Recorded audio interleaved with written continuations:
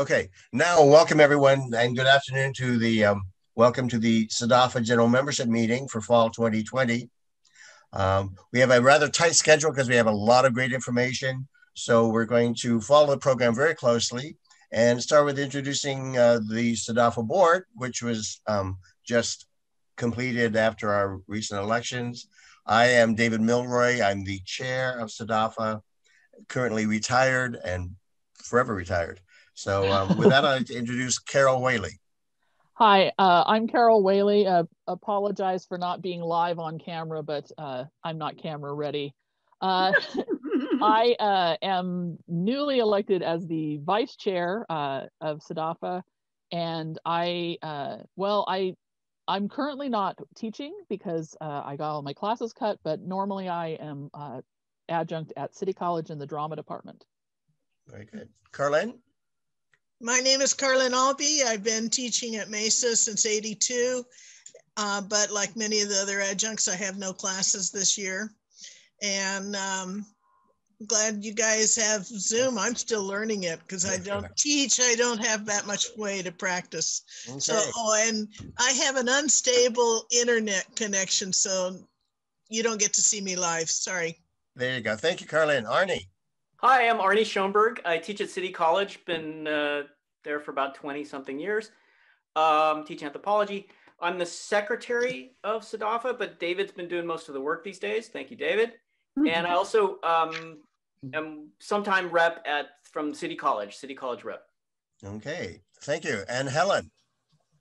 Hi, I'm Helen Wilson. I teach at Palomar. I am now the represent, representative for Palomar.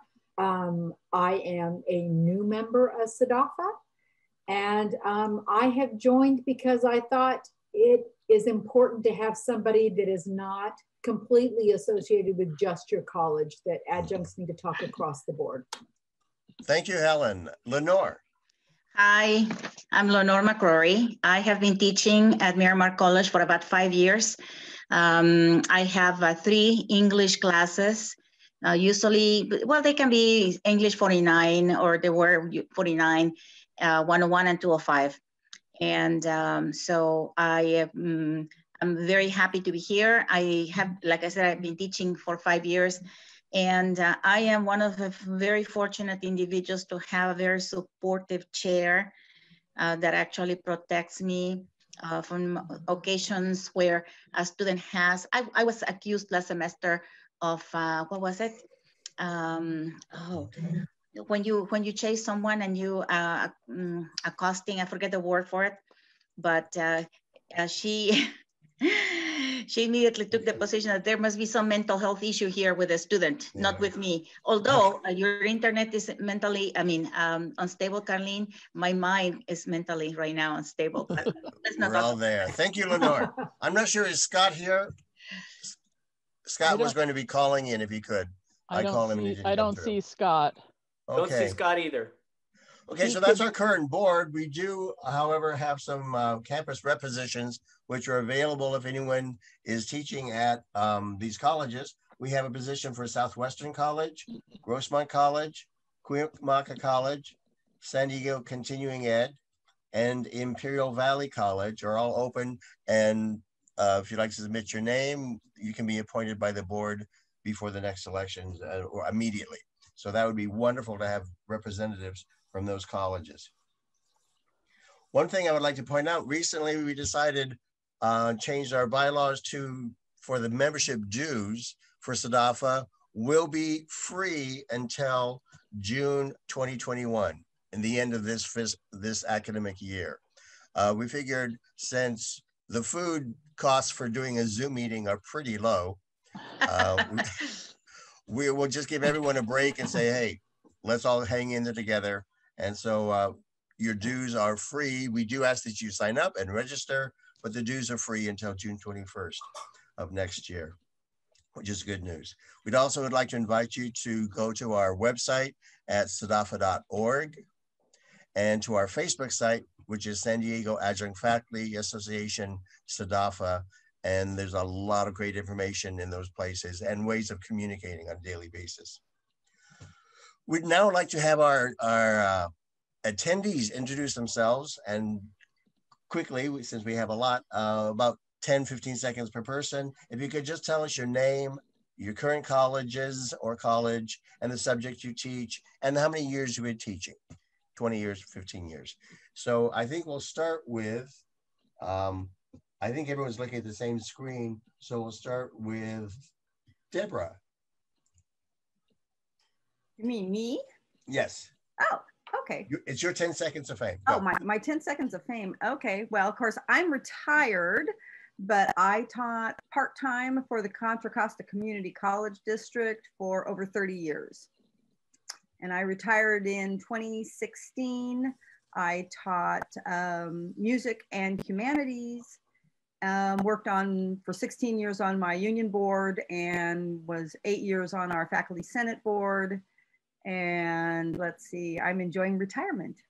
Very good. Thank you, Deborah. Laura. Uh, Laura Collins. I teach at Mesa College. I've been there for 29 years. Uh, most of it is adjunct. Then I was contract and earned tenure, and then I resigned that and went back to adjunct. and um, um, I've been well supported by, uh, you know, my department and uh, the dean and so forth. And so um, I'm here actually for selfish reasons because I want to hear about retirement. Um, I decided okay. to not accept a spring assignment. And so I'm kind of looking at where I'm going to go from here. Okay, great. Thank you, Laura. Now down to Stacy. Hi, I'm Stacy Byrne. I'm a full-time CPA and I also teach at Palomar and MiraCosta. And uh, see, I started teaching in 2014 at Delta College and I've been at Palomar since 2017 and MiraCosta since last year. All right. Thank you, Stacy. Alexis. Um, I was surprised because I'm a guest here. I'm uh, not from San Diego. thank you. Uh, I'm from Pasadena and um, uh, know some colleagues here from uh, statewide work, but uh, I'm re currently retiring from Pasadena. It, it is a process um, to go through, but I just heard from payroll okay. at Pasadena just this morning that. Uh, it was actually going to go through, and um, I, am done. Okay, thank you. Uh, okay, name college and how many years you teach have been teaching. Sabine. Yeah, uh, my name is Sabine Kutschem, and obviously I teach for 15 years at San Diego City College in the biology department. How was that? Very good, thank you. Sharon. Um, my name is, uh, yeah, Sharon, and um, I've been teaching for this district for 15 years, community um, continuing ed, and continuing out of West, ed. West City, exercise classes. Oh, great, great. Yeah. Well, welcome, Sharon. Thank you. Rusty. Hello, my name is Rusty. Uh, I teach political science at Mesa College, and I've been teaching since 2007. Albert Cruz. Good afternoon. My name is Albert Cruz. I teach uh, information system at uh, Mesa College since uh, 20, uh, 2013, seven years now. Great. Thank you, Albert. Sharon Gregory. You got Sharon already. How about Leticia? Oh. Letitia. I'm, I don't know why I can forget to unmute. Hi, I'm uh, from Imperial Valley College. I teach ESL. thank you, Leticia. P people are jumping, so I, I, have a hard time finding where they are. Uh, Christine? Hi there, I'm Christine. I uh, work at City College uh, since 2007 in LA County for additional seven years, uh, photography department. Okay, thank you. Marianne? Yes, hi, my name is Marianne Gibson and I teach web development at Mesa College. I've been there since 2012. Oh, great, great, great. Thank you. Moving on, Farrell Foreman. Hi, I've been teaching at San Diego City for 20 years, English. Glad to be here. Great, thank you, Farrell. Jane Brayman. Hi, I've been teaching at MiraCosta since 2015 at Palomar before that. I'm also part-time at Cal State San Marcos. Great, thank you, Jane. Anna? Yeah, I'm a part-time librarian at Mesa. I began in uh, 1990. but very part-time. Okay. Um, well, we're, our schedule begins again at 2.20, which is about seven minutes. Um, were there any uh, questions that you wanted to throw out and we can think about them as the day goes by and talk about them later? My main question revolves around um, the fact that I do put into my own solo IRA through my business. Mm-hmm. You know, I'm putting into a SEP, and so that's that's the meat and potato of why I'm here. I'm sure you're going to cover that. Maha just jumped on. If right. you want to introduce yourself, just uh, where you teach, how long you've been teaching. Yes, hi. I um, my name is Maha Jibara. I teach at MiraCosta College, and I've been teaching since 2012, something like that. Mm-hmm. Okay. Welcome. What do you teach, Maha? Oh, biostatistics. Oh. I, am sorry I missed everybody's. I was in a different meeting. So. Oh, that that we understand that's happening a lot today. But we can just start early and have a little extra time. Yeah, we'll have extra time. Deborah, is that all right with you? Yeah, that's fine. Okay. Well, then I would like to introduce our first speaker, Deborah Dahl Shanks, who I've known for a good 20 years. She and I worked with FAC and CPFA and all sorts of great organizations. And she is just a wonderful, wonderful person. And she knows more about STRS than STRS does. So without further ado, I'd like to introduce Deborah Dahl Shanks and her presentation on STRS. Deborah. Well, thank you. Um, David is right. We have been doing this for a very long time. Um, and I've been working with the FAC Retirement Committee for at least 20 years and the STRS part-time task force for almost about the same amount of time. So um, there is so many things to consider when you're looking at issues dealing with a retirement. And I need to push this thing off my screen. There we go. Okay. Really quick, we're doing a, a quick poll uh, just to give a little pre-knowledge. So if you can click that poll, we'll, we'll close that in about a minute oh, and okay. then uh, start the PowerPoint. Perfect. Perfect. Perfect. And we did have a question in the chat already about the difference between DB and CB. So maybe you can answer that. Okay. Um, STRS has two plans for um, that they um, run. Um, the DB plan, which is the defined benefit plan, that is the plan they've been running for over 100 years. And that is the plan that is required for all full-time faculty. Um, and it's also the only plan in every single district. Cash balance or the CB plan was started in the mid 1990s as an alternative for part-time faculty, especially those part-timers who have full-time private sector employment and would not um, vest in a uh, defined benefit type plan. So that was a new plan started in the mid 1990s but it is not available in every school district throughout the state because it's negotiable. And we'll talk about their differences in a minute. Okay, I'm going to end this poll and uh, share some results here. Okay. If I may ask, how do you know so much about it, Deborah? Well, back in the late 1990s, um, when I joined FAC, I asked them if they'd put me on a committee. I assumed they'd put me on the part-time faculty committee. They did not. They put me on the retirement committee. I thought they were crazy. Um, so I've been spending over 20 years learning about retirement for part-time faculty and doing lots, not only research, but attending lots of um, uh, workshops and just the amount of time to learn about it, it's, it's a very complex information. It's complex and uh, it's taken me uh, many years to figure it out. Basically, you have been doing your homework. In essence, yeah. Mm-hmm. Good for, for you. all of us. Thank you. so Deborah, we got the poll there. If you if you can't see it, for those you who can't yep. see it, it's about three fourths of the people in a STRS defined benefit program. Uh, almost half people have some social security. Um, most people uh, don't have different plans in different districts, oh, and uh, probably about uh, two thirds of the people don't understand how their plan works. so that's good. We're here. Yes, yes, yes. that's good that you're not in a in a variety of plans in different districts because that's not a good thing. So it's good to be stable in one plan. It just you want to make sure that it's the right plan for you. So that would be the difference. So, so I'm going to have Arnie just go to the next slide and we're going to talk about preparing for retirement.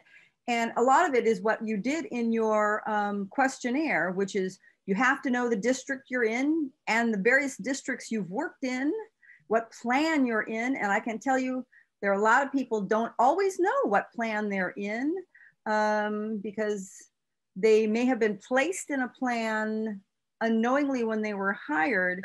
And unless you're following it on your uh, pay stubs, you may not always know what plan you're in, but it's important that you do know what plan or plans you're in. Um, a lot of you have to, and like I hear some of people are looking at retiring. So part of understanding retirement is also knowing your expectations from your pension. What do you expect from your pension to do? Especially if you work multiple jobs, if you work in the private sector. Um, do you have an idea when you want to retire? What age? And sometimes the age you think you want to retire and that age when you really can afford to retire may not be the same. So you really need to consider um, all these various aspects of what you expect that pension to do and then what you plan on doing after you retire. There is life after retirement when you are no longer in the classroom. And of course, there are a lot of considerations to um, take into effect uh, into account um, where you're going to get your health care. Do you have to, should I wait to retire till I'm 65 and I can get Medicare? Um, my housing, travel, take into consideration uh, how my spouse or partner fits in, how my children might fit in, um, all the various aspects that are, are going to face you in post-teaching time frame has to be considered. Um, the earliest you can retire with STRS is age 55. Most people don't retire at the age of 55. The typical people who retire at 55 tend to be K through 12 teachers, mainly because they get so burnt out. The optimal age for the STRS plan, if you're in defined benefit, is 63. Um, it is it changed to the age of 65 if you were hired for the first time after 2013. But I would imagine most of you don't fall in that category. So the optimum age or the maxing out of some of certain aspects of the benefits is age 63. Statistically, however, most community college faculty, whether they're full-time or part-time, don't retire until late in their 60s and sometimes into their 70s mainly because they like doing what they do so much. Although I'm not sure if that's the case right now. Um, but that is statistically where we're at. So let's change slides. Okay, so let's talk about the plans. Um, like I said, the state teachers retirement system has been around for over 100 years. The defined benefit is available to all faculty, full-time, part-time, and in every district. It is a it's defined, the reason it's called a defined benefit, it's defined by a formula based upon your work history, your, uh, which is your service credit, the age at which you retire, it's, and like I said, that maxes out at a factor um, at the age of 63. And then your earnable annualized earnings um, at the time uh, over the last three years or your highest three years, whichever is better. Um, other things available to part-timers throughout the state is Social Security, not in every district. And then of course there are other odd plans that you may have encountered in other districts like Pear, Apple, insurance companies, etc. Um, the STRS, uh, and a lot of people asked about STRS and PERS. STRS and PERS, because they're both a state program for public employees, one for teachers, one for the basic public employees, have a reciprocating agreement, meaning that if you happen to have had some work history in PERS, that um, STRS recognizes it and you automatically vest in both plans by virtue of vesting in one or the other of them. So there is an agreement between those two. And so if you have any work history in the opposite plan, they will give you a pension or a partial pension based on that agreement. So if anybody happens to have a, a need for a coordinated retirement. The other thing to remember about retiring, um, and that is you have to retire from all districts simultaneously, or if you're in STRS and PERS simultaneously, they expect, they don't expect you to say, oh, I'm gonna retire from this district, but keep working in another district. You, uh, they do not allow that. You have to retire from everything simultaneously. Um, and one of the ways of keeping track of all this information is going to the STRS website. The, the part-time task force has been in effect mm, off and on since the early 2000, I'd say about 2004. And we try to meet every year to keep up as to what are the issues facing part-timers and how STRS is adapting to those issues. And we haven't managed to make it always every year. And there's been a huge turnover of uh, employees at STRS over the last couple of years. They've had a lot of retirees, uh, retirements in their system. So we're spending some of our time educating the new staff of STRS. But important for you to know is they're putting much more information on their website. They're putting, they're rewriting their PowerPoint to be more tailored to part-time faculty needs and they're tailoring their new education workshops to be more tailored to our needs. Um, you should, if you don't have one, have a MyCalSTRS account so that you can um, find out all this information on a regular basis. And my thing got out of the way, move, thank you. Um, where you can find your annual statements. And there's more information on the annual statement online than they, than they would send out in paper form. So it's really important to read those statements because they now are um, giving more detailed information as to what the districts are reporting as to your earnings and your service credit. So that's very handy. Um, so and that also lets you know if you happen to have a defunct cash balance plan or if you find yourself in multiple plans, that will be there. It also gives you an opportunity that if something doesn't look right as to your service credit, you can dispute incorrect information. Um, and we're gonna, we're working with STRS to try to make this easier for part-timers to dispute incorrect information. They're also putting out next year in 2021 a new computer program, which again is going to help them track and help part-time faculty much better. It's called the Pension Solution um, Computer Program.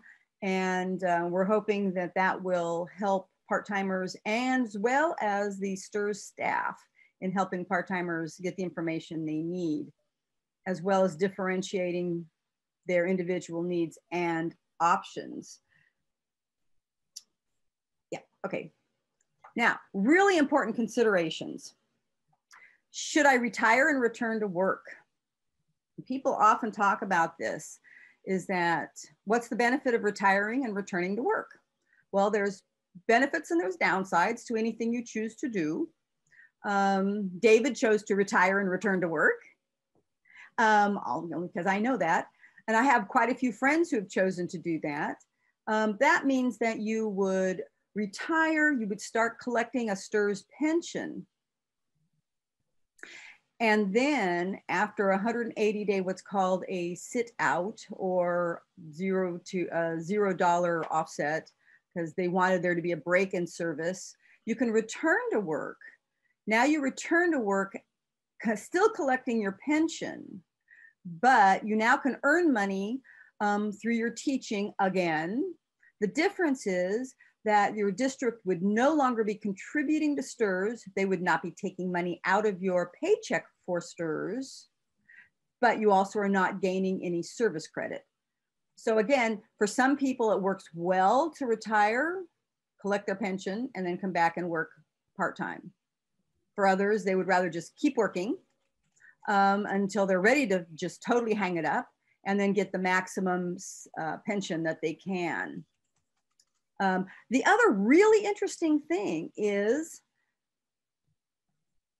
you can, if you are 65, you can start collecting your Social Security. Do not, or you can put off your STRS pension until later. If you stop, if you continue working in STRS, doing credible service, as long as you're doing that, there is no offset against your Social Security. So I know quite a few people who chose to retire at 65, collect their Social Security and Medicare, but continue working, teaching, and adding money and service credit into their STRS because there is no offset with these with Social Security until you actually start accepting money from STRS. So that is an option if you want to avoid the WEP for a certain amount of time down the road. Um, and as I said, be sure to read your annual report. Uh, someone asked a question about sick leave. And so um, sick leave is a very interesting thing. When you retire, you are not paid for your unused sick leave. If you are in defined benefit, those unused sick leave hours are sent to STRS as service credit. So you will gain service credit from unused sick leave. If you are in cash balance, Social Security, or any other plan, you lose your unused sick leave. You are not paid for them. It just it stays in the computer. You don't benefit by having not been sick.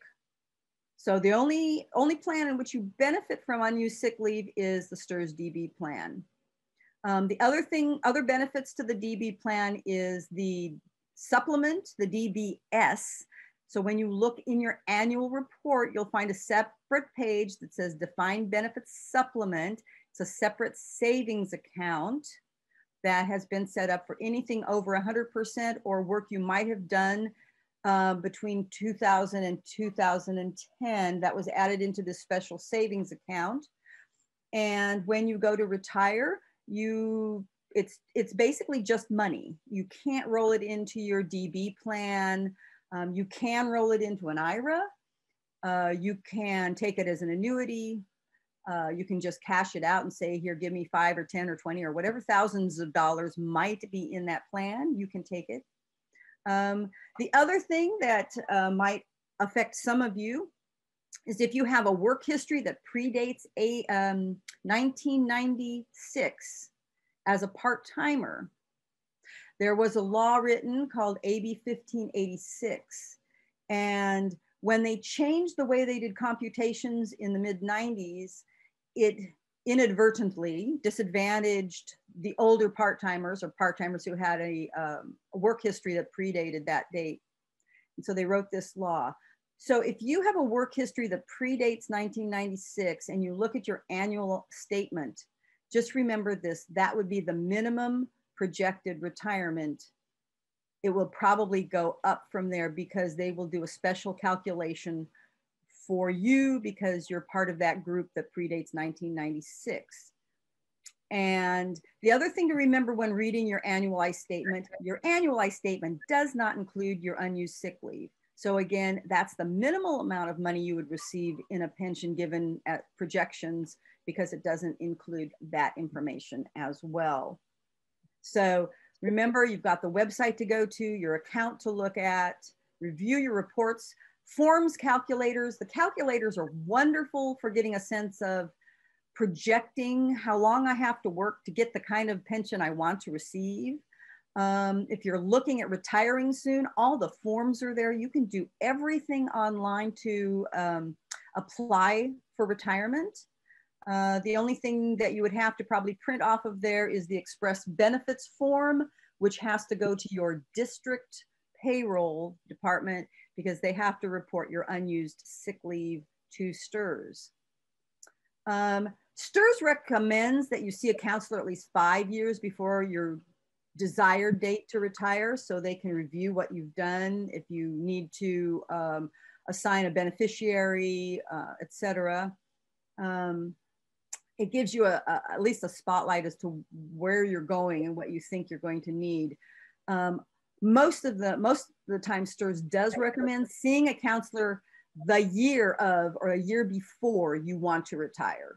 So you can review all this information, ask them any pertinent questions, find out if there's any um, special issues you have to look into.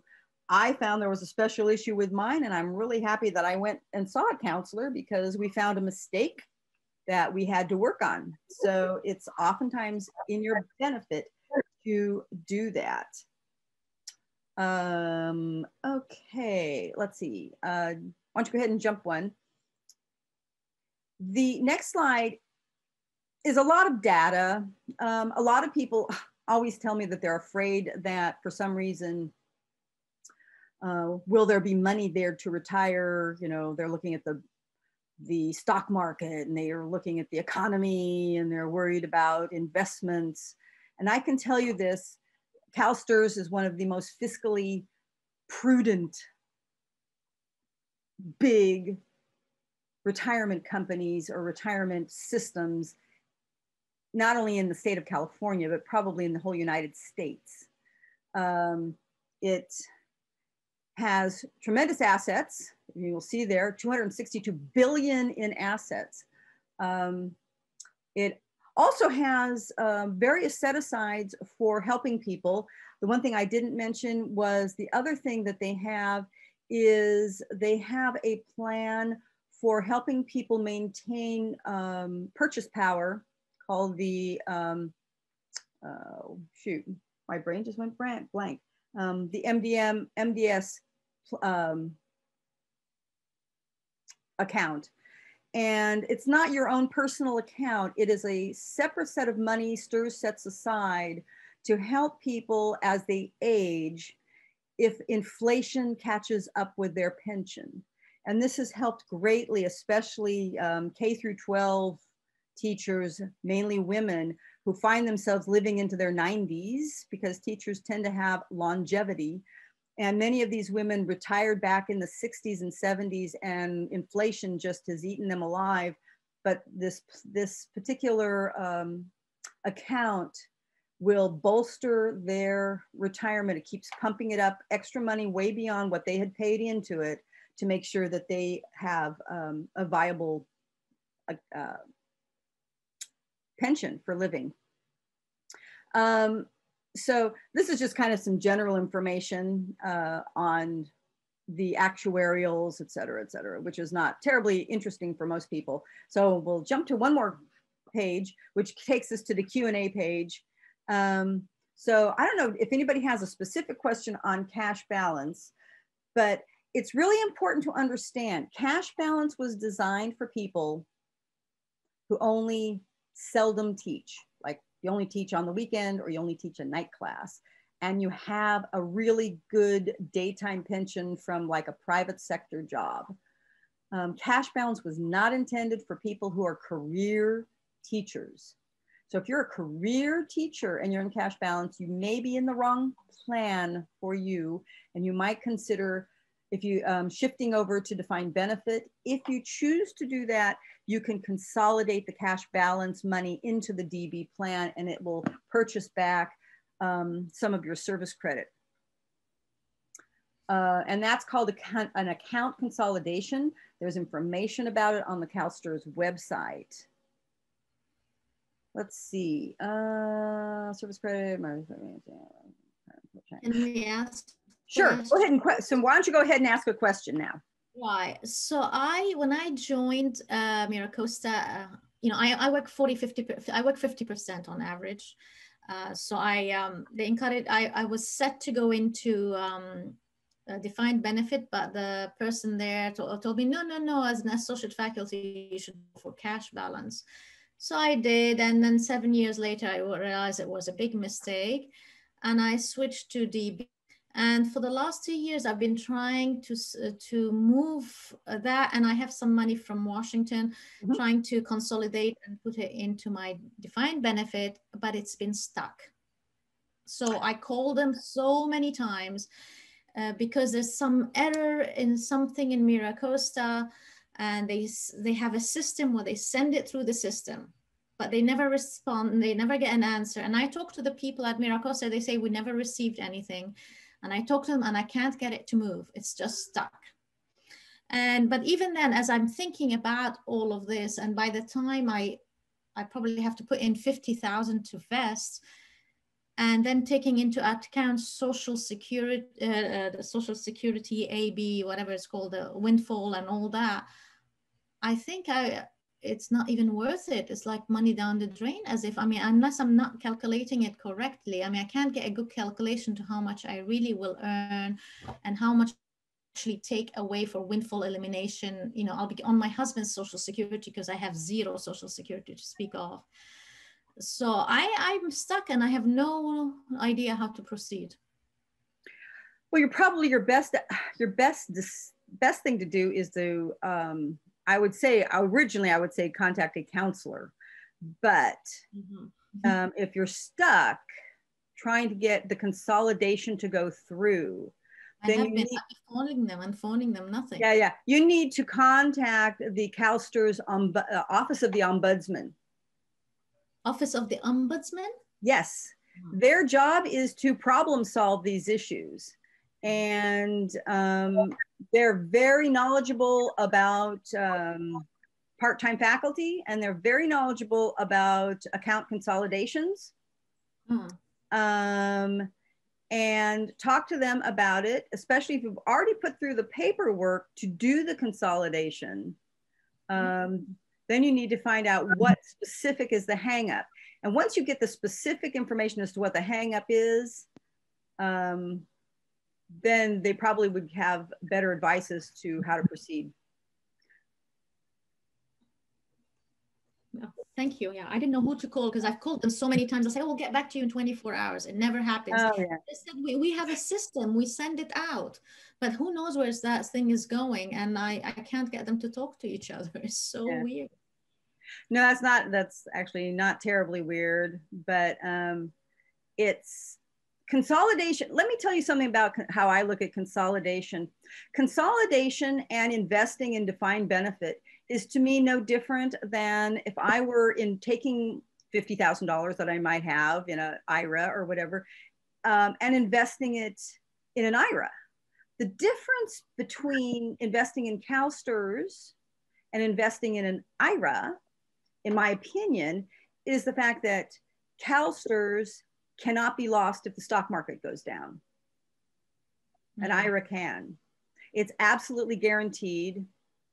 The payout is guaranteed for your life, no matter if you live to be 150. They would continue paying you no matter what, even if you ran out of your money. Whereas money going into IRAs or annuities tend to be are very finite and are susceptible to the whims of the stock market, recessions, etc. Yeah. So I always consider an investment in STRS as a very sound, um, a very sound investment that's going to stick be be be there for you. Sorry, one more thing. I, am still not clear if it's even worth it though for me because I think uh, by the time I retire, it'll be like five or six hundred dollars a month, which is not very much. And then 400 goes to the windfall elimination. I'll be left with 200. Is it even worth all this money? No, no, no, no. Nothing is take windfall elimination takes nothing from your STRS. Uh, what about the other one? There's, there's two of them: windfall elimination. And... Nothing, nothing, nothing can be taken from your STRS. STRS is STRS. STRS is a guaranteed pension. The windfall elimination provision in GPO affects a social security pay payout. It does not affect STRS. No, I know it's a social. I mean, if you compare it to what I get from my husband with the social security, then it's essentially all gone. It's it's not worth it even. It's like I'm putting money down the drain. Well, I think I'll. I, I mean, if you work out the, how much uh, in comparison I lose from social security, it works out to like 200 a month. Then, well, if I'm doing the calculation right, I can't get anyone to tell me how much really it is. Well, the actual calculation, as I understand it, is this that whatever your pension is, is offset dollar for dollar against a government pension. In other words, against a, a spousal social security. So it, oh. yeah. So it really doesn't matter. It's going to come out about the same no matter what you do. So is it worth it then? Why don't I take the money and invest it and I'll, that would not be offset, right? Uh, that is true. It would not be offset. I would still do the consolidation, but you do not have to take the 50,000 and put it into STRS because the consolidation still is going to get you a better payout at the other end and move and move your cash balance over as opposed to keeping it in two separate entities. Right. But you could, I mean, if you, that's absolutely true. Okay, so you mean if we get 550 from STRS, they take 550 from Social Security? Yeah, yes. I mean, they take 550 from a spousal amount of Social Security. If it's your own Social Security, then it's a different amount. It's about half. So if you're getting 550 from STRS and you're getting your own Social Security of 550, they would take about $225 or $200 from your Social Security. Widows benefits, absolutely. It works the same for widows benefits. If you, if you're, um, so if your husband gets Social Security and then technically you get half his Social Security, it's that half of the Social Security has that 550 taken from it. If your spouse dies and the widow's benefit is now not that little half, but you now get 100% of your husband's Social Security, that is offset dollar for dollar against the STRS. The idea is that they don't want you to benefit. Let's see, STRS November. Yes, the 180 day rule. Now remember the 180 day rule is this. 180 Carol will be talking more about the windfall elimination. No, no, no, not the not the windfall elimination provision. Someone's asking about if I retire and want to come back to work. STRS will say that there's a 180 day rule. 180 days means that you can it does not mean you cannot work for 180 days. It means that if you come back and work within that 180 days, there's a dollar for dollar offset against your pension. So you can earn money. And if you're earning decent enough money, take it aside, put it in, you know, put a lot of, put it in the bank. And then when STRS charges you again, an offset against your pension, then you have it. Oh, and the other question is, you can also be collecting your pension. If you go back to work, you are still eligible for unemployment. Hmm. Can you explain that again? Okay, so let's say you you retire and you start collecting your pension. And then you say, I want to go back and work part time. So I'm going to collect my pension and I'm going to work part time and earn money during the summertime or during winter breaks. You can still apply for unemployment, even though you're collecting a pension. Thank you. Can we? Oh as, as an adjunct, um, I'm fairly new. Um, I heard that we can collect as an adjunct, and I only work six hours a week. Can can I collect unemployment for Christmas break, Thanksgiving break, summer? Thanksgiving break, no, because you're still in the midst of a semester, which means you have a reasonable um, assurance of coming back after Thanksgiving. Winter break, yes, you can collect unemployment there because there is no assurance of being uh, rehired in January or going back to work in January because it would be dependent upon funding and the classes filling. Same is true in summer. You can collect unemployment during summer for the same reason that there is no guarantee or contract that uh, guarantees you returning to work in August or September. Okay, so what what would happen? Like for instance, I I want to like take care of my mom during the summer, and um, so I don't accept the summer assignment. Would I still be eligible for unemployment?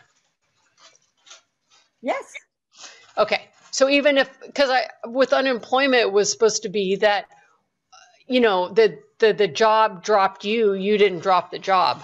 Not necessarily. Not necessarily. Um, it you know it can be a variety of reasons it could be that a person turns down the assignment because it's a class they didn't feel that they were qualified enough to teach or they didn't feel competent in it there are a lot of reasons why one can turn down a job turn down an offering of a course okay and still collect unemployment yeah the other, because then the other you thing say, is you can say that you're looking for you want you're looking for um, you know work in a specific realm of teaching and maybe that class didn't fill that okay thank you as, as long as you don't tell unemployment I turned down that job, Yeah, it's highly tell. unlikely that the district is going to is going to tell them to is even going to know that because it would take your dean notifying HR that you turned it down and then HR when they get the thing from uh, unemployment asking you know i mean it, it, it really it, it has to go through so many layers that it's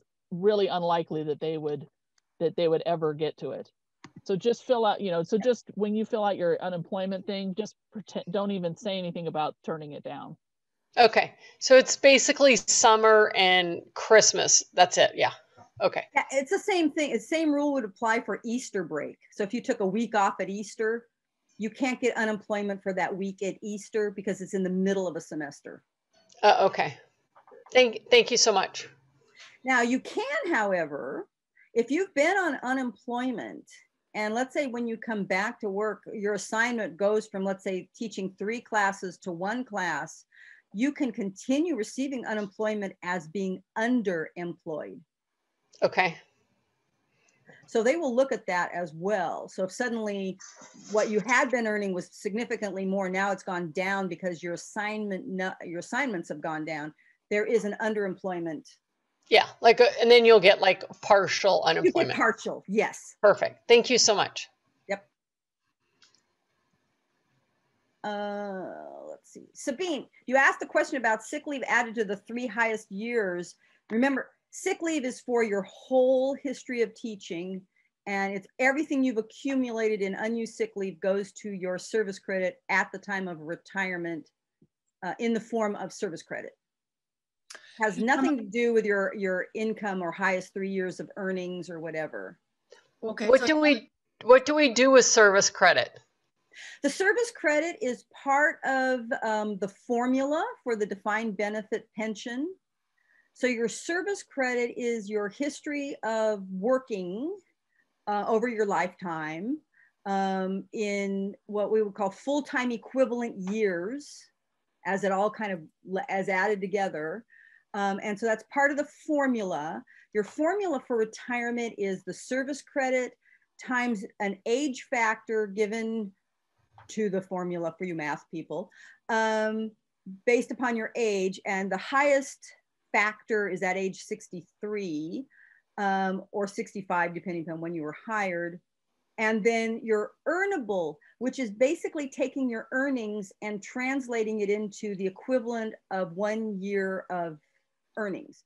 So let's, uh, the simplest way of explaining an earnable is if you work a 50% load and earn $25,000 for that 50% load, STRS will put it into the formula at $50,000. They will turn it into a one year equivalent of earnings. And that goes into this formula, and that's how they figure out your pension. Okay. And that pension is um, the base pension, and that would be for your lifetime. And then every year there is a 2% COLA added, simple COLA added to that pension. Deb, I have a question.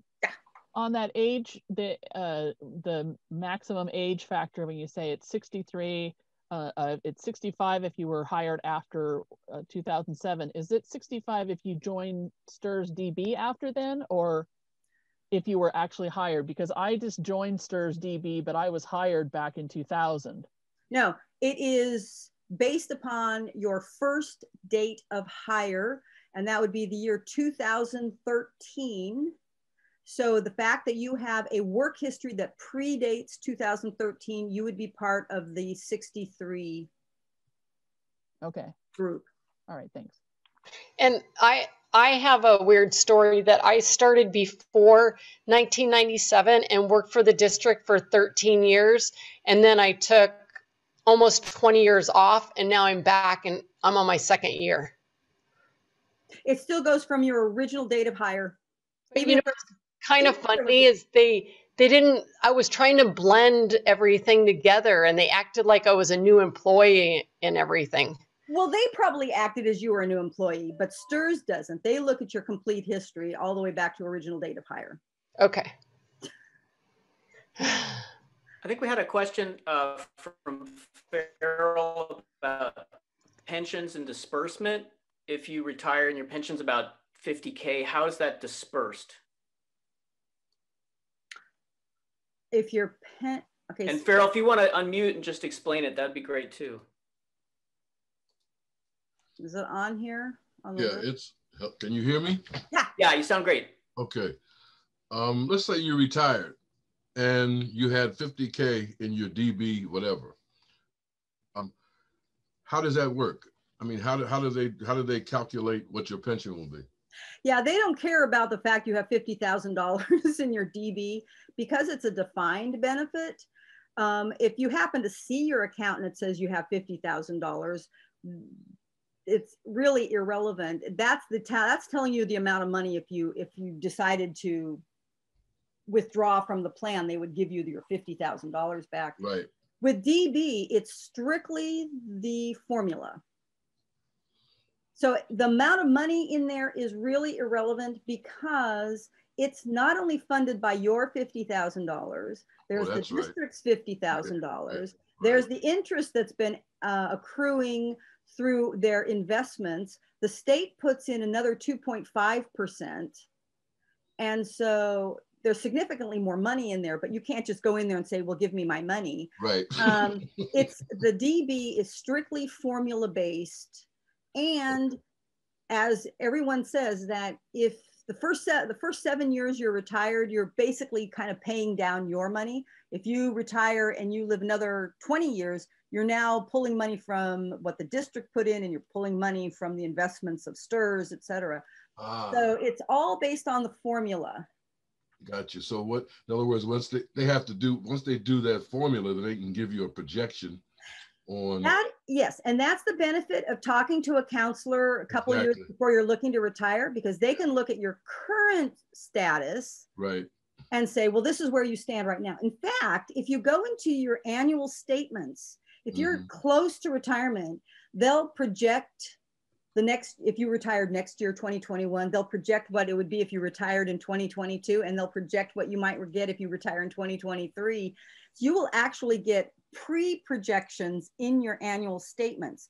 The thing to remember about those projections, they don't include your unused sick leave, which will add more uh, service credit which means um, more. Yeah. Yeah. So remember, your sick leave will add more service credit, but they don't know how much sick leave you've got. Right. So there's exactly. no way for them to add that into the formula. Right. So, like I said, if you look at the projection in your annualized report, that is the minimum you would be getting. You know, it will be more because of the fact there will be still more service credit to come. Okay. Thank Deb, you. we have about two minutes. Yeah and then later we can talk to. Yeah, yeah, yeah.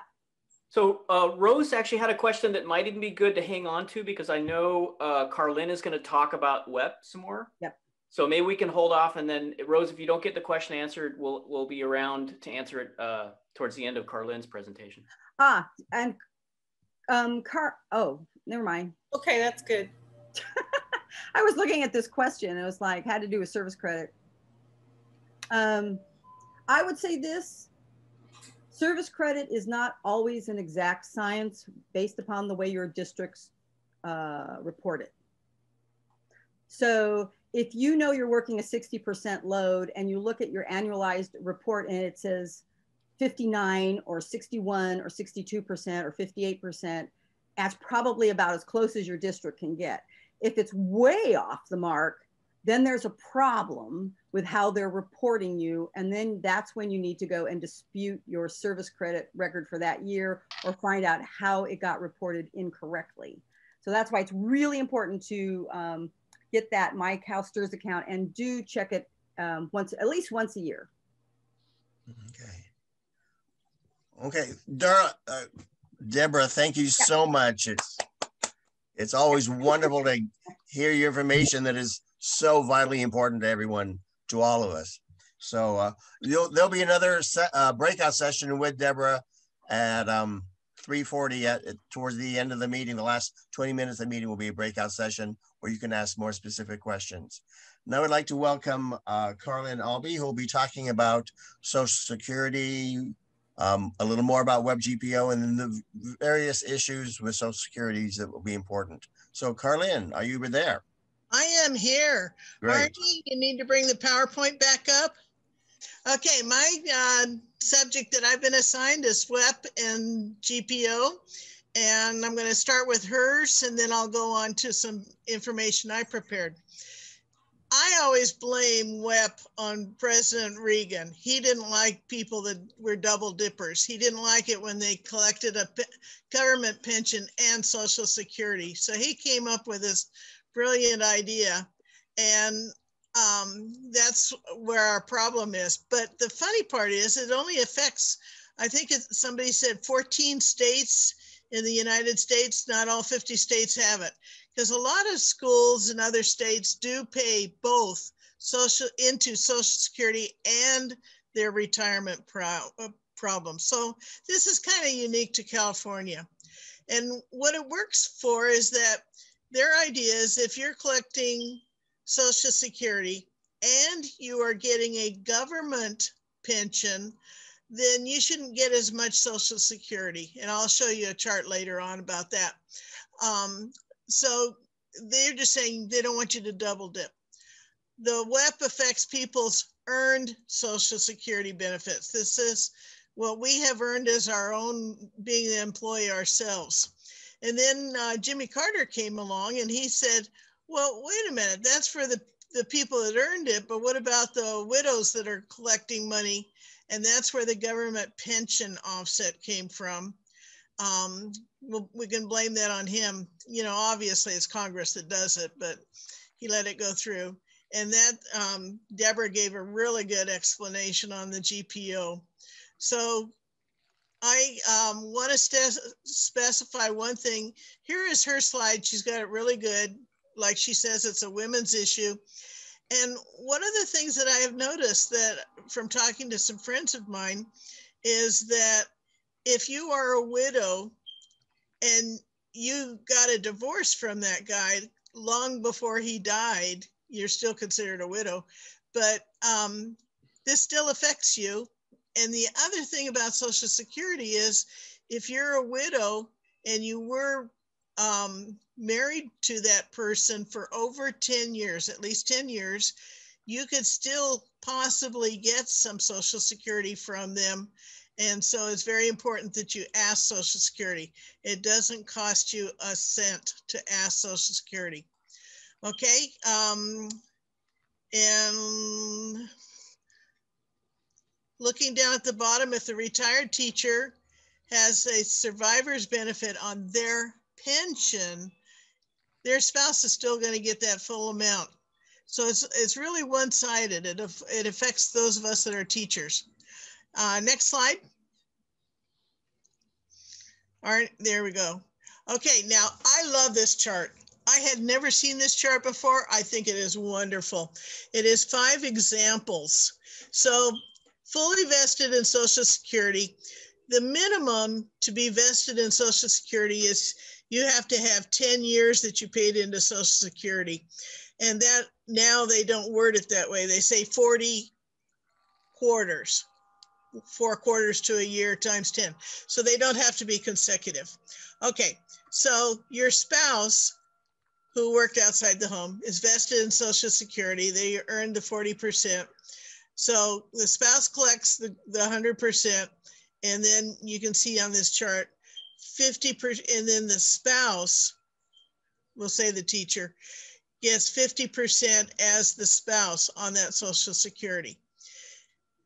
Number two, the spouse never paid into Social Security at all. they're going to collect 100% of, well, the worker's going to get their monthly amount, the 2,700, and the spouse is going to get 50% of that, 1383. The third one, again, the spouse stayed at home, didn't work, never paid into it. The employee did collect 100% on their Social Security, same amount, 27. The spouse is going to get 50%. So it's still the same amount. Now here we get into what applies to us. Here's the teacher. Didn't pay into Social Security.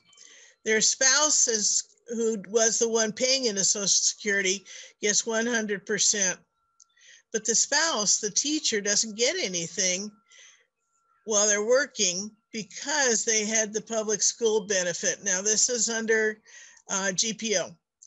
And that benefit is going to be um, just the amount for the spouse because the offset is $2 for every $3 in the pension. So if the pension for every $3 of pension amount, they're going to deduct $2 from that, from, from the social security. It's not being deducted from the, the pension. Nobody takes money out of your pension. This is strictly a calculation of how much Social Security you will get. And then here comes number five, and this is me. You earn 40 quarters in Social Security and other jobs. Well, many of you teach at more than one district. I didn't. I worked as an accountant. So I have my own 40 quarters. Now, if I was married, which I'm not, um, my my spouse would be getting 100% of their social security and the GPO penalty would be applied to the spouse benefits which means that if I was trying to get that half of their benefit going back to that 1383 it would be eliminated because of my pension.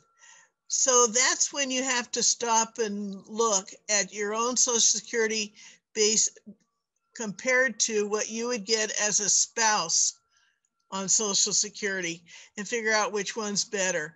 I know my neighbor figured out she was better off getting her own Social Security instead of being a spouse on her husband's account. And it, and it kind of works out based on what your income was compared to the spousal benefit.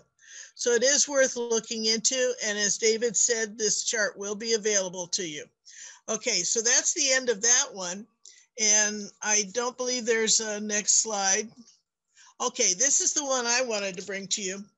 Now, CalSTRS came out with this flyer. It's two pages long and it's really good. And I'm very grateful to Arnie for making it into a PowerPoint.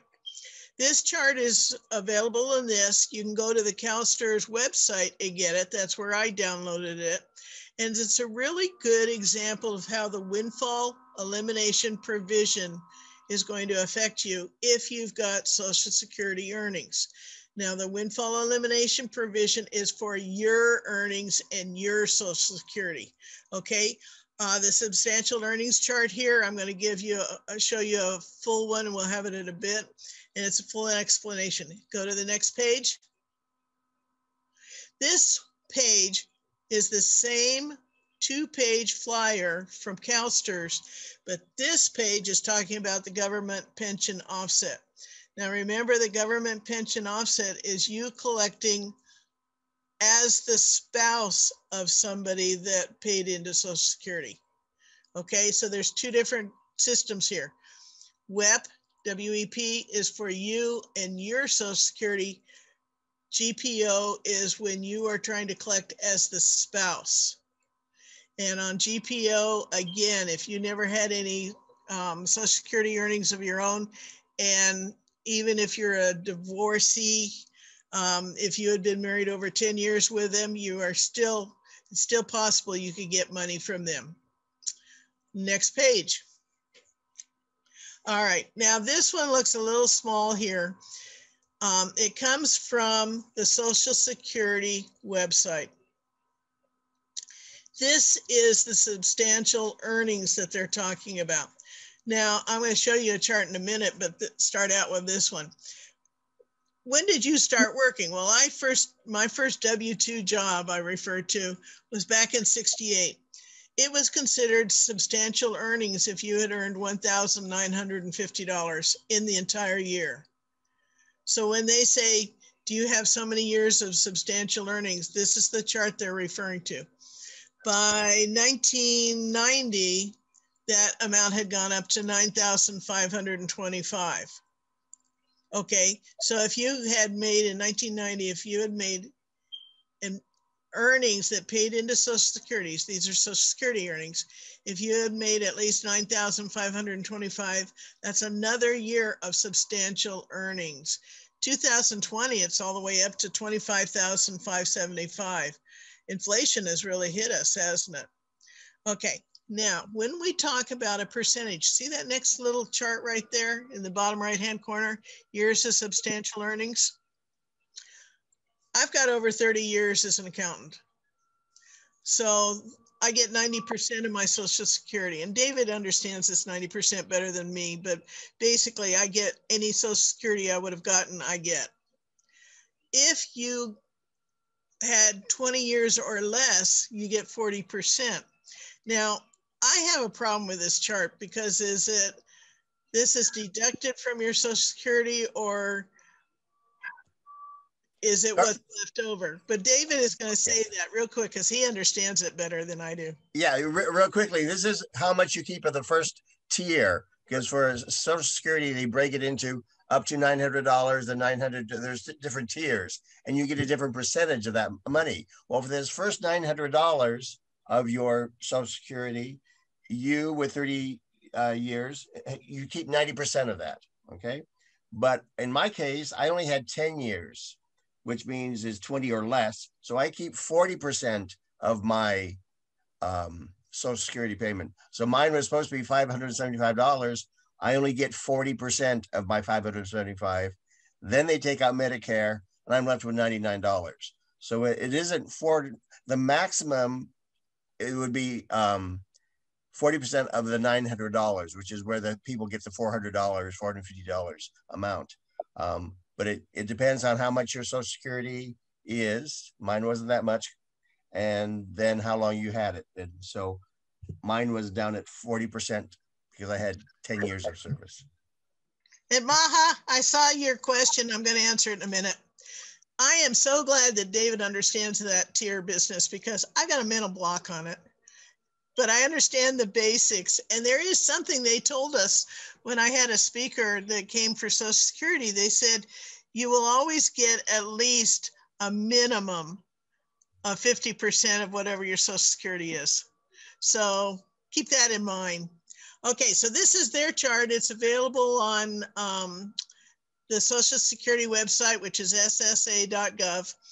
And I've also, uh, it'll be in this package that you can get if you want it today. And I also have posted it to Facebook to our account under files. Next slide. So Carlin, that's all the slides I had time to put on. So oh, we're gonna okay. have to go manually to share the different documents. So just keep talking about it and let me know which document you want, and yeah, then I'll try to put it on. Chart that chart, um, they had a couple of the years were individual years, like 98, 99, you know, those were individual, but sometimes they'd show a bracket. And so what I did, being the accountant that I am, I love Excel. I can do just about anything on Excel. And I took and created a worksheet and I've got a blank one on the Facebook. You'll get it and um, we'll send it to you. There it is. And you need to see the full thing. This is the blank one. And if you can fill it up, what I have done is I went through that chart and in column A, you see the years, or our column B is all those years, and it goes back to when I started working. Don't put any numbers in there yet, because that's the next one I want you to do. So in column C, those are those the substantial earnings annual amount based on that chart you just saw that's on the Social Security website. Okay, so I went all the way down. You can see that 1950 from 1968 when I first started working. And I updated it last night. As Carol pointed out, 2020 is 25,575 down at the end, okay? Now, if he puts up the next one, this is what mine looks like. Beautiful. Thank you, Arnie. Now, this is what happens is if you um, go up to the top, what I have done, this is filled out for me. The working Sorry, year. Wrong one here. working Just a year. There's the years again and the substantial earnings according to that chart from Social Security. Okay. Oops, it disappeared, Ernie. I have the wrong one up. You just have to No, wait. you me to didn't. That up. was the one I wanted. That was perfect timing. Give me a couple seconds, just a second. I am. I'm very patient. So then you have to go to Social Security. And if you haven't already done so, you need to set up my account. And the my account, you go in there and you get your earnings history, your own personal history. And there's going to be two columns on it. One column's going to be for what you what was your Social Security earnings, and one is your Medicare earnings. Now the difference is for these substantial earnings, you need to put in your earnings. So col- uh, column C again is the substantial earnings from that chart. The next one, my Social Security earnings, column D, that's what you have to input for each of those years based on your earnings record. The next one was Medicare earnings. That has nothing to do with this calculation, but as long as it was in front of me, I did it just because it's kind of funny to look at the Medicare because we pay into Medicare as teachers. We don't pay into Social Security. And so you can see the differences there. So now, column F, I set up the formula, and as you fill it in, it will automatically calculate that percentage. It'll do the math for you. So what you are doing is taking your Social Security earnings and dividing it by your substantial earnings column to see what percentage does it count. Now, if Arnie can move us up, okay. So Maha, you asked where do you get the value for substantial earnings? That substantial earnings column C is the chart that I just showed you that was from the Social Security website. Okay, it's also, it was like two, two pages ago for us. It'll, it's also available on our Facebook page under files.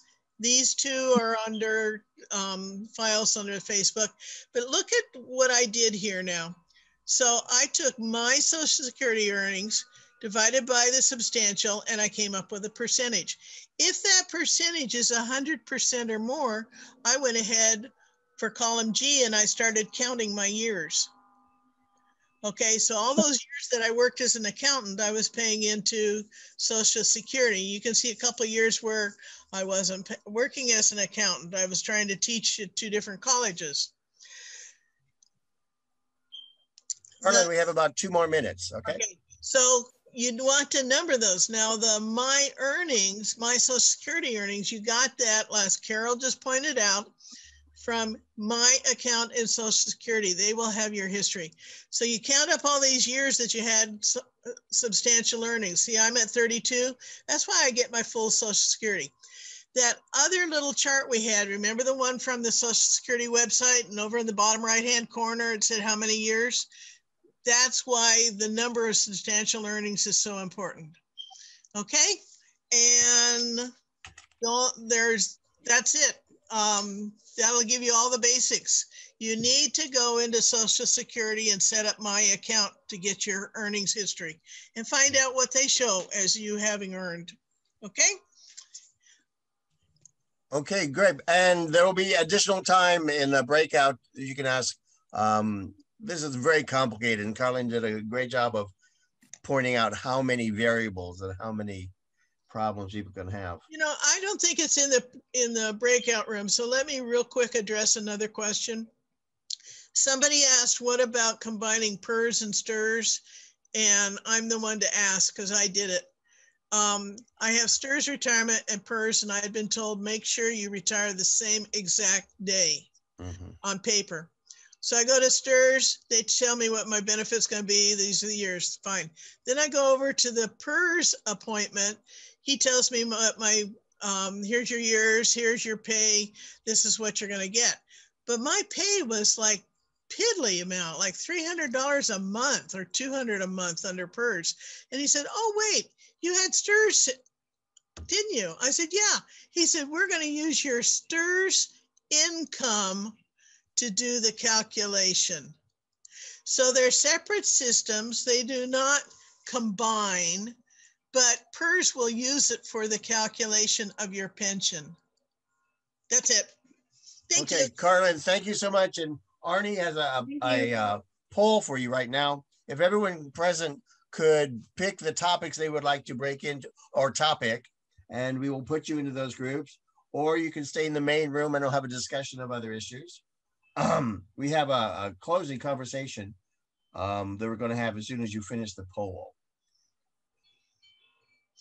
Oh, Rosa, to answer your question, if you retire from PERS, they will not take that calculation into effect. You had to have uh, done it on the same day. So did everyone complete the poll? Arnie, do you have the information? We've got nine out of 16. I thought I'd Okay. give it a, another minute really quick. We'll, uh, we'll set up a breakout room for the Social Security WEP GPO. And anyone who, who's not interested in that will have a general room here. And then please, if you can describe uh, in the chat if you wanted to set up another room or if you get an idea for another breakout room during this next discussion, uh, we can adjust that depending on your, your desires. So uh, we'll continue now. Thank you, David. Okay, thank you, Arnie. Um, so people will be going into groups, right, into the STRS breakout. I'm not exactly sure how this works. I, Um, I think at, I, they will be going into the breakouts after we do the, the group, the, the first Ah. group conversation. thank you, Carol. Thank you, Carol. Okay, uh, what we'd like to do is is before we go into the breakout rooms, is have a group conversation with everyone on what you would like to see send uh, excuse me, SDAFA doing to improve part-time working conditions on all campuses in San Diego County and hopefully influencing the entire state. Um, we can work on campus activities, legislative activities, statewide. What topics, what issues are just importance to you? And we'll open that conversation up to everyone, obviously, and just have a group discussion. uh, this happened to me. I've, I've been working at City College for 20 years. And when I was first hired there, I mean, I didn't even go to HR to fill out my paperwork. It was given to me through my department chair. And I was told, you know, oh, you just sign up for this, uh, the alternate retirement plan. And I was told, I was actually told you can't, you, you can't even do CalSTRS. I don't even remember what the papers said. But if you think about it, to the district, they would rather have a part-time person be in the alternate plan because they're only paying three and a half percent, I think, of our salary is their contribution. Like we pay three and a half, they pay three and a half. That's less than if if we were if they were having to pay Social Security. If we are in STRS defined benefit, we pay, and I mean maybe Deborah knows the exact. I don't know the exact percentage now. I think we're paying a. It's right around ten percent something like that and the district is paying uh, more because of funding so do you know what that percentage is deborah Yeah, um, it was up around nineteen percent, nineteen and a quarter percent, but uh, the state, because of the uh, problems with COVID and all the problems that districts are having, they have rolled back the state's, uh, the, the district's contributions um, down to about um, eighteen percent, and so they're giving them, not that there's Right. a huge amount, but I guess when you're talking about in big numbers, I guess it is. So, um, but the, the district pays significantly high into STRS DB compared to cash balance, social security, anything else. right What is the but you're cash right. balance amount? Huh? Cash balance is like 4% or something, isn't it? Yeah, Four, it's four Right. percent and four percent, um, four percent district, four percent faculty member. Right. Um, and so that's why a cash balance pension or, um, basically it's a type of annuity, uh, is so low compared to a real pension. And so that's why and you, there should be somebody the hr department they should be on top of that but they're not and they you know they want to save the money. So I would say to all adjuncts, everybody needs to know what their you know what their options are and and talk to your other if you know other adjuncts you know ask them do you know about this? Are you you know are you are you in you know CalSTRS defined benefit?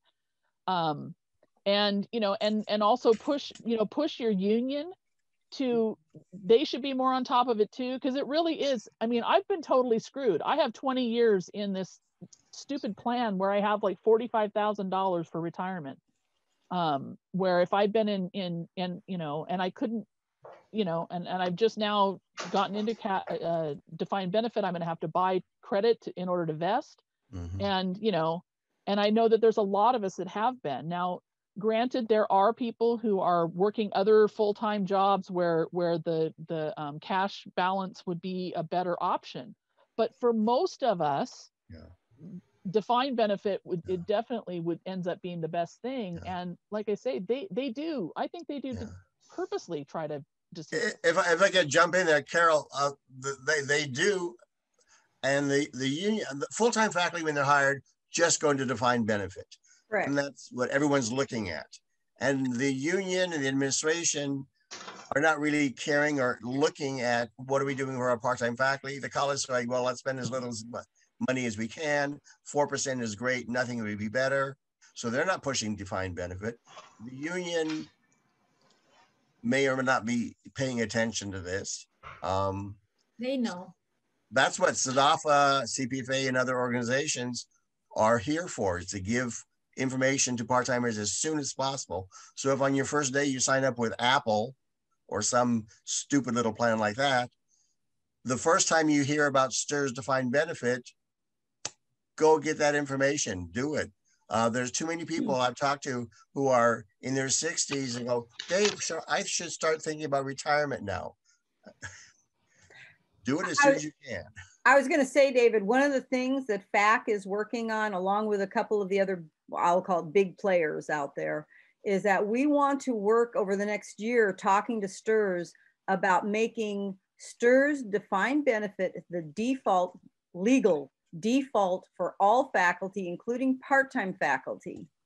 And that we're going to work out a plan with STRS so that that part-time faculty member has a six-month window to opt out of defined benefit and into either cash balance, social security, or something other if they don't think it's appropriate for them. Because the majority of part-time faculty members tend to be more career or long-term faculty. So that's one of the things we want to do to try to fix that problem. And then you don't have the problem of them steering you down the wrong path. You automatically go into the better plan. You then have to choose to be in a lesser plan. Now, now, of course, that there's the issue of the W, what's it called again? The GPO and the WE.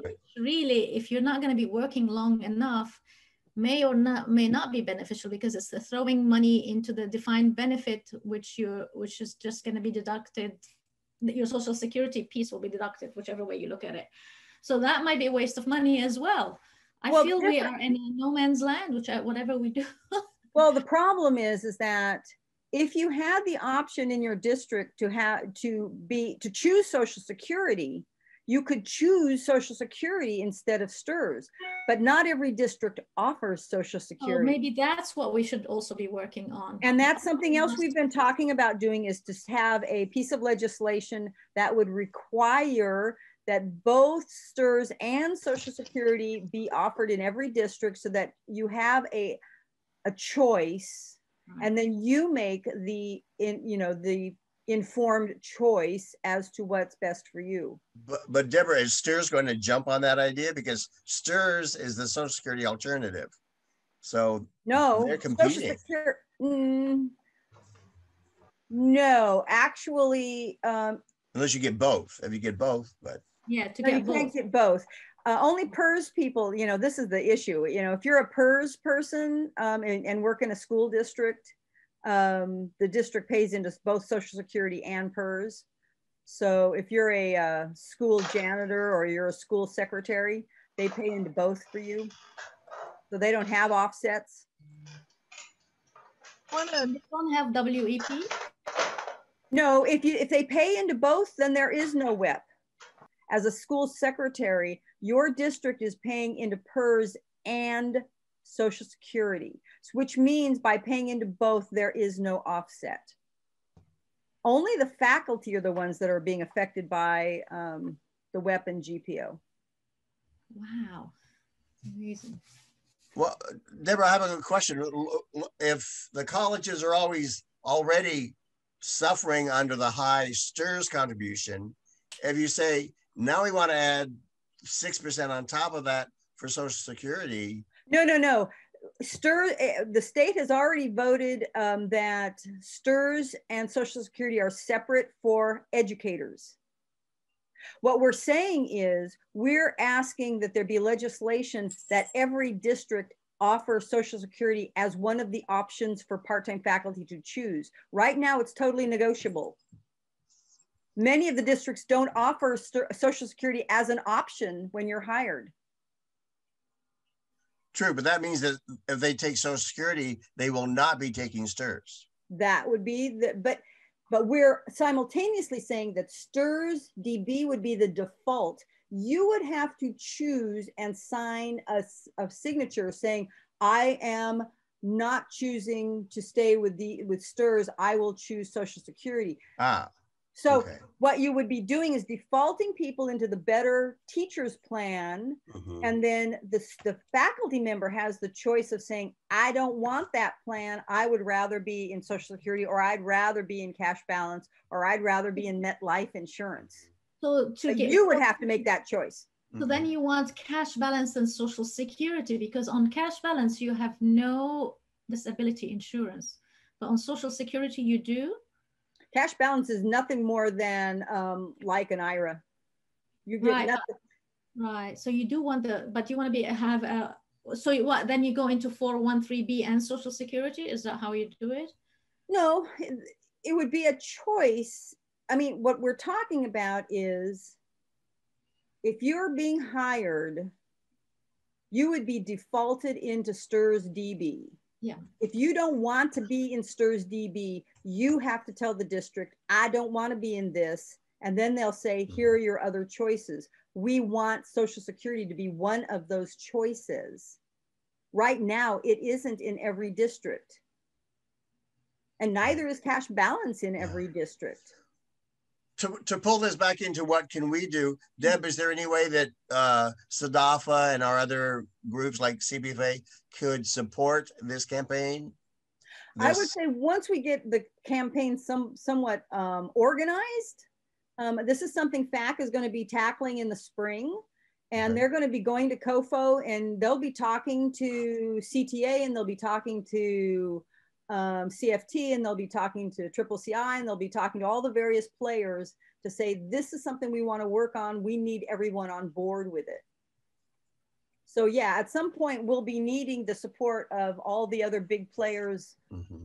in the state to be able to go to the legislature when we have a piece of legislation. Deborah, do you know uh, do you know the position of the chancellor's office and the the community college league on this? Have has there... Oh, I'm sure they'll be against it, and the reason they will be against it is there's a huge cost to them. Stop that! Sorry, my dog is chewing up my slipper.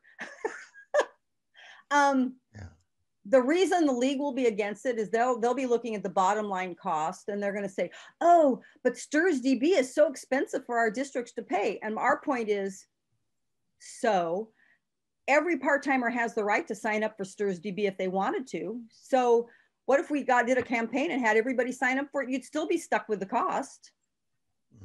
They'll argue something like that it's better for adjunct faculty to have the free choice to be able to have that cash immediately Yes, like and that. we're going to, and we're saying that they do have that choice. We are going to say they're defaulting into this, but they have a choice to sign for up for something other if that's not appropriate for them. So if they're, you know, if they're a full-time person at Hewlett Packard and they're saying, I don't want to be in DB, just give me the cash balance savings account, fine, they can sign up for it. We're not telling them they can't. Yeah. Well, that's especially true for someone who has a, a full-time job outside of teaching who teaches one class uh, they're not going to be, teach enough classes in their life to no, best. Right. And that's the point. Yeah. But so many part-timers have been hurt by being defaulted into cash balance Right. or into Pear or Apple or one of those other plans that we're saying, look at the majority of part-timers, majority tend to be career oriented. Right. Either they're looking for a full-time job down the road or they're going to be part-time for many years, like 20 or 30 years while they do other stuff too.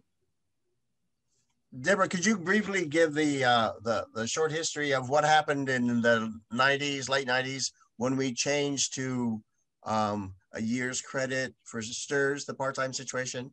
what happened in the mid 90s was we had a lot of part-timers who were complaining well back in the 80s and early 90s they were complaining they weren't vesting and it took them instead of let's say four years to vest or five years to vest it was taking them like 10 or more years to vest and that's because STRS the, the system of STRS was built on the k-12 model of 1,050 hours of student contact time, like you would if you were in elementary school.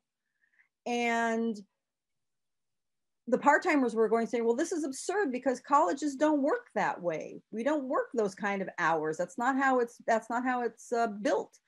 And so they came up with this plan in the mid 90s to change the full-time equivalent annual hours from 1050 to 525.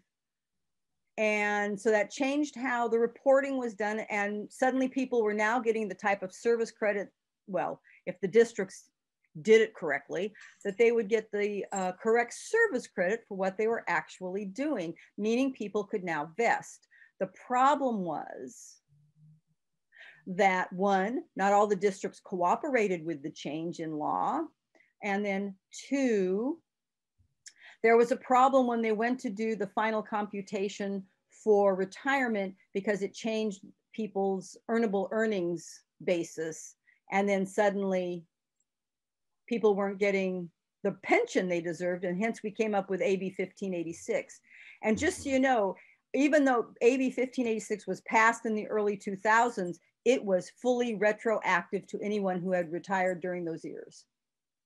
And people literally saw their retirements sometimes double. If I can jump in here just a moment, I'm one of those people because I hired in in 82.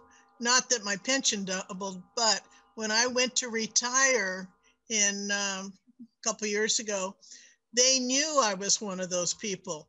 And Mhm. they take it into consideration when they calculate what your pension's going to be. So you don't have to identify yourself, but it doesn't hurt to remind them. Yeah, everybody, uh, they do have everybody flagged in their system. They know exactly who to look for. Okay, um, we're going to open the breakout rooms now, and we really only had one breakout room, which is the same thing we've been talking about all the time. So we'll just continue it there. The only real difference is we're going to stop the recording, so you'll have, uh, um, you know, uh, confidence in bringing up whatever confidential or personal information you have about your uh, issues, and be able to ask questions uh, from from Deborah and others. So I'm going to start the room now. Just join the breakout room. Go in there. If you want to talk about other issues besides uh, retirement and all of this, um, just stay in the room here, and we'll have a few people here uh, left over to talk about any any other issues you have. I'm going to turn the recording off, and we'll we'll uh, open all these rooms. Uh, David's going to close us out really quick, but just join your breakout room, and you can leave the breakout room and come back to this main room too if you want to talk about something else besides that's not retirement STRS. WEP. Right. Okay, Arnie, thank you so much, and thank you to everyone for joining us today. Um, I think it's been very informative, lots of great questions, continuing conversations that we will have. And do consider, I have, as the chair, I have to plug SDAFA. Please join SDAFA so you can support us in our efforts to help you. Okay, and uh, have fun in the breakouts and stay here if you'd like to talk about legislation. Thank you so much. Bye bye.